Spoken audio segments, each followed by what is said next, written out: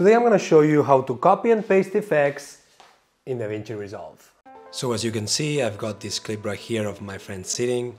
And if I select the clip and I go into effects, you'll see that this clip has three different effects. Vignette, before and after, so you can see it, halation, and light rays.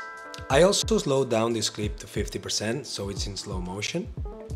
And let's say I want to copy and paste all the effects that this clip has and place them into this one right here.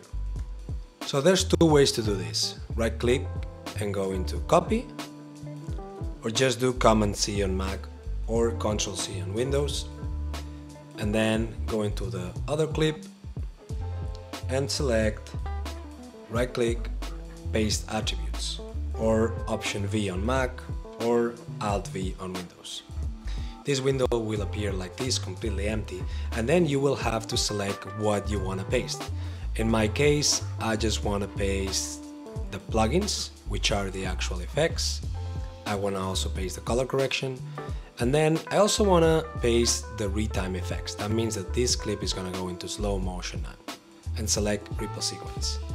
And if I hit apply, boom, as you can see, now this clip has the three effects as well as the color correction applied. And that's it, this is how easy it is to copy and paste effects in DaVinci Resolve. And that's it for today's video. Thanks for watching and I'll see you soon.